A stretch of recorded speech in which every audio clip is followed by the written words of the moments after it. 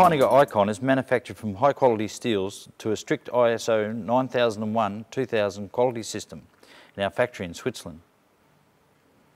The Icon has three double row heavy duty ball bearings and 14 teeth cogs to make it run smooth. The Icon is completely rebuildable with all parts being available either singularly or in kit form. When used with Heiniger combs and cutters, the Icon is the safest handpiece on the market.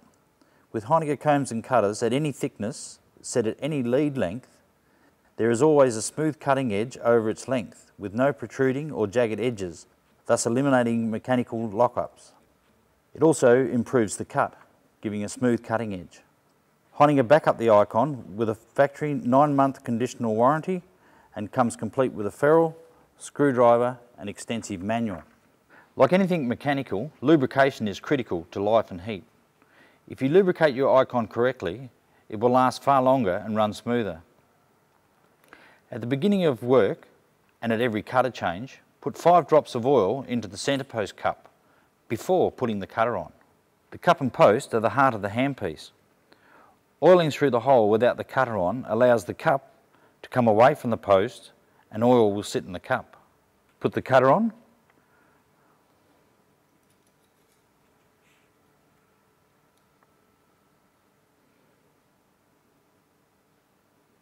oil inside the ferrule, squirting the oil onto the side of the ferrule.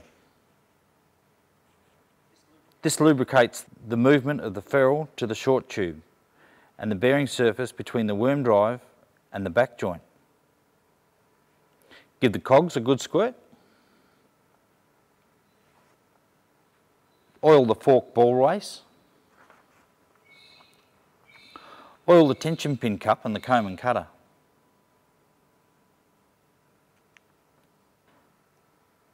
You can't over oil a handpiece. Do it every cutter change and the handpiece will last far longer and run smoother. When the handpiece is new and all components are tight, change cutters and oil it more often to run it in. Once a week, unscrew the tension nut and take out the tension sleeve. Clean out the old grease from inside the tension sleeve.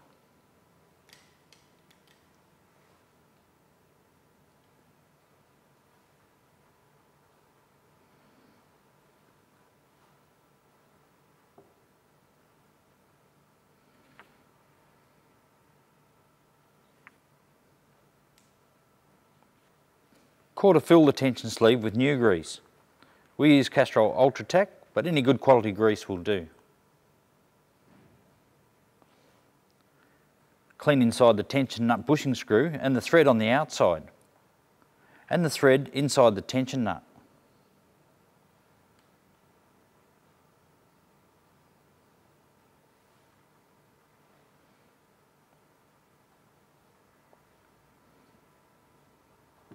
Lightly oil the threads in the bushing screw and inside the tension nut. And put a bit of oil inside the tension pin cup. Uh, replace the tension pin, the sleeve and the tension nut. Once a week, take out the chicken feet by turning them 90 degrees to the fork and pull them out. After giving the chicken feet and the fork a good clean, Put new grease on the fork where the chicken feet fit and push the chicken feet back into place.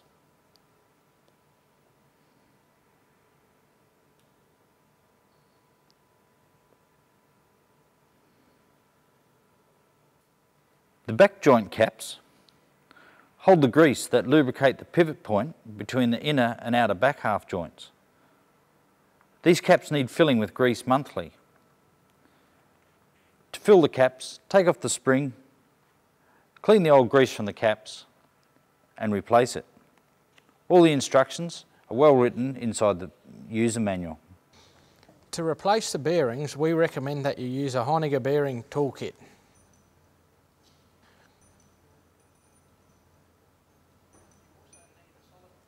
We also need a solid piece of wood, nylon hammer, a cog spanner, plenty of clean rag and some oil. Unscrew the fork safety screw and take out the fork and ball.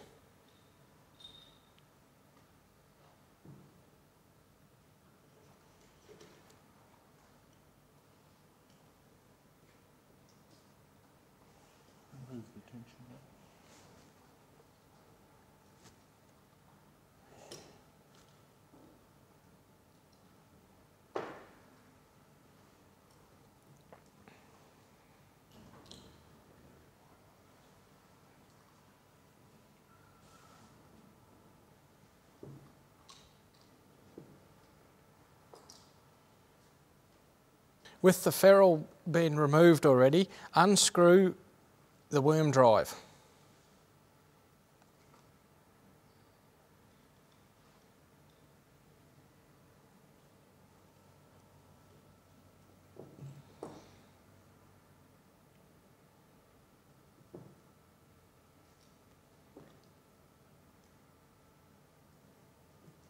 Remove the back joint from the barrel.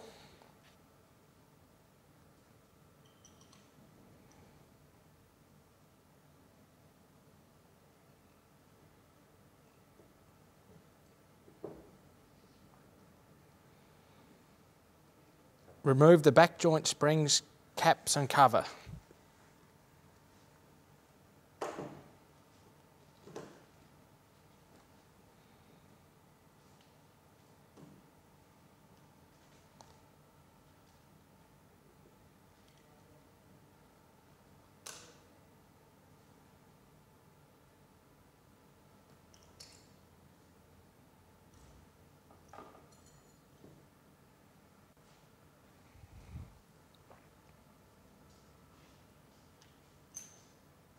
Remove the seal, then the circlip from inside your barrel with the circlip pliers that come in your bearing toolkit.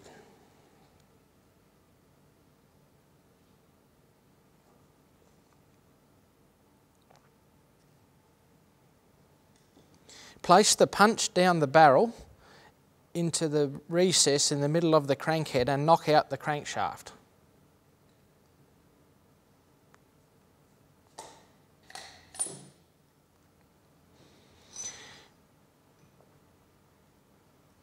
Knock out the bearings from the inner and outer back joint half.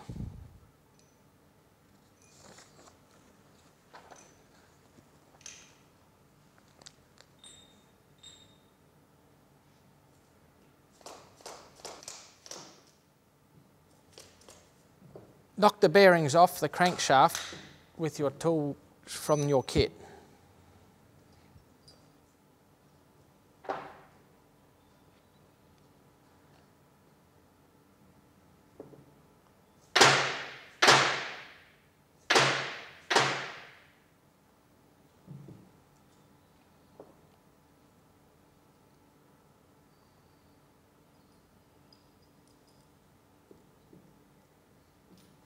Now separate all the old parts from the new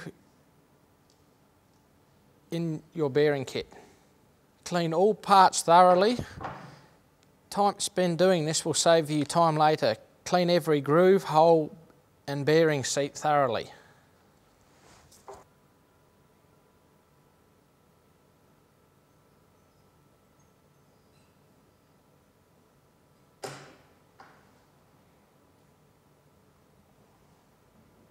Oil up the bearing seat on the crankshaft and then place the distance washer, that's the flat one, on the crank, then the front bearing. With the crank on a solid piece of wood, knock the front bearing home with the tool provided.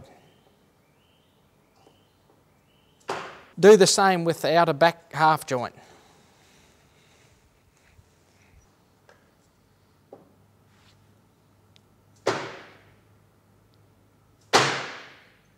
Oil inside the barrel, then place the crank in the barrel.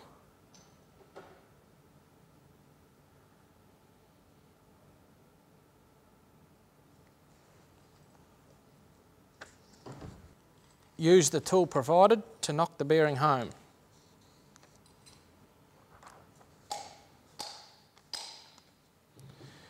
Place the wave washer that's the wobbly one, into the barrel and then the bush. If the bush is tight, knock it lightly with a screwdriver until it slides down the barrel. Then put the circlip inside the barrel.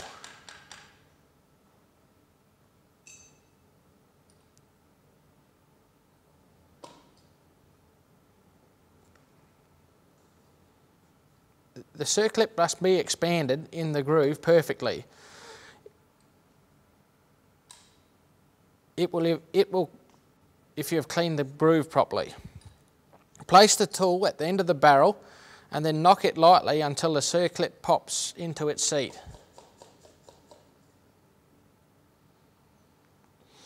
Check the inner back joint half turns freely with the circlip.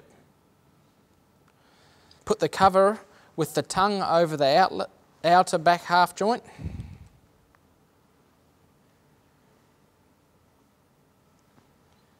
With new grease in the caps,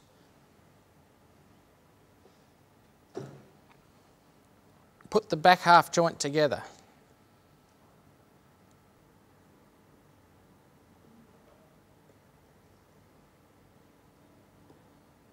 The seal must go into the inner back half joint the correct way. The side with the two lips goes to the cogs.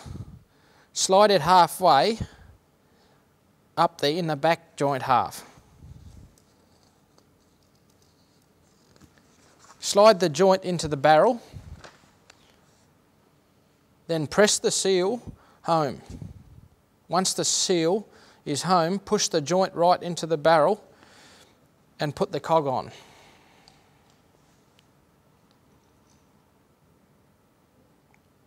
Now that we have reconditioned the bearings in your handpiece, you will have a run-in period.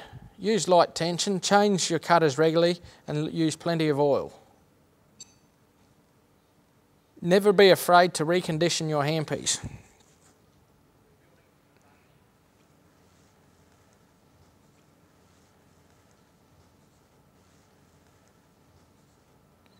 Right. Rebuilding your handpiece from the front end.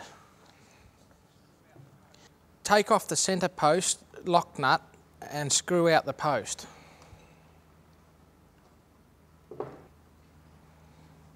Then place the cup over the hole and knock them out.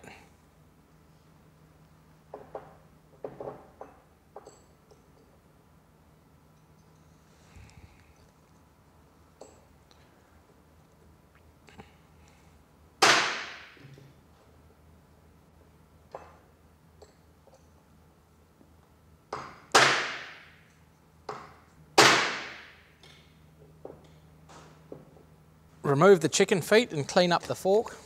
Separate the old parts from the new. Right, place the tension pin retaining spring on the cup and put, the, put it in the fork. Ensure that the slope on the cup face is angled directly to the ball race at the end of the fork.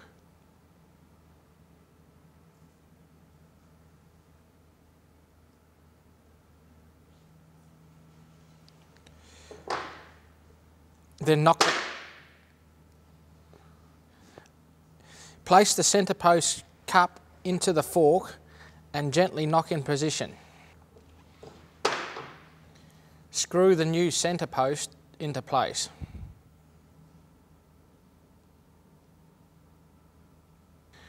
Leave the lock nut off or loose at the moment. Put grease on all contact parts.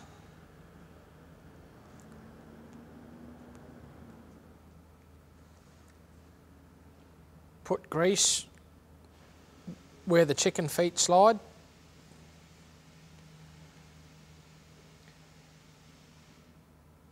Into the tension pin cup, into the centre post cup, put grease into the ball race.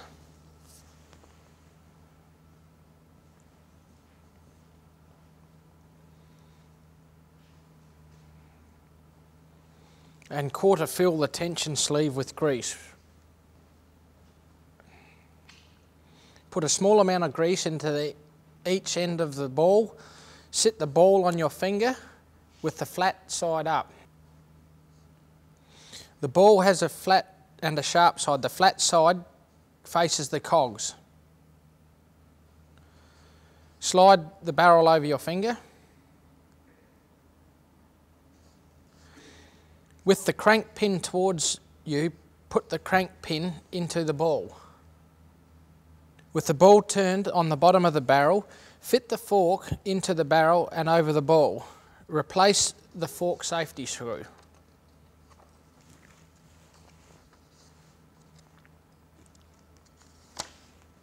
Slide the pointy end of the tension pin up into the barrel and then put the ball on the end of the tension pin retaining spring.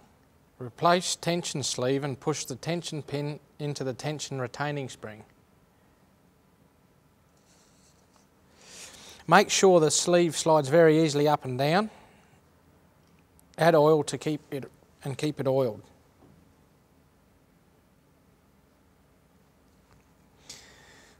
Oil the tension threads.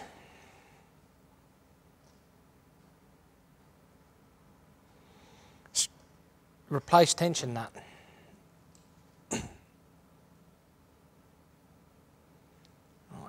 Screw on a comb.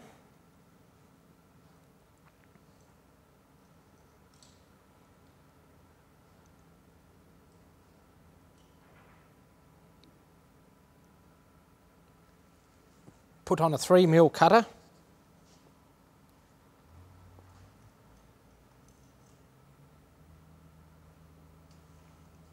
with the ferrule in place, screw the tension until the weight of the handpiece is held on the tension nut like this. The post gauge has two steps in it.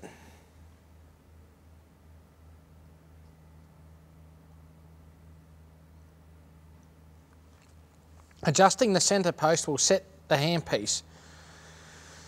With the post gauge, in the oil hole with the bottom step resting against, with the bottom step on the fork ball race.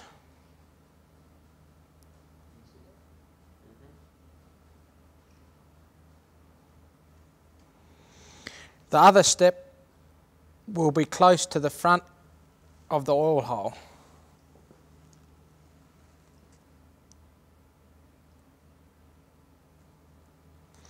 Adjust the post up and down until the two step rock into, into the front of the oil hole, whilst the bottom step is on the fork, on the front of the fork ball race.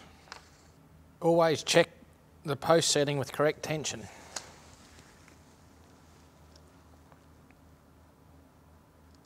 Once you have the centre post, set lock on the tension hard screw on the centre post lock nut and lock it up. Now you have set the post with a 3mm thick cutter and the handpiece will cut with any thickness cutter. Only adjust the new post, don't adjust any post that has been used for a week or more.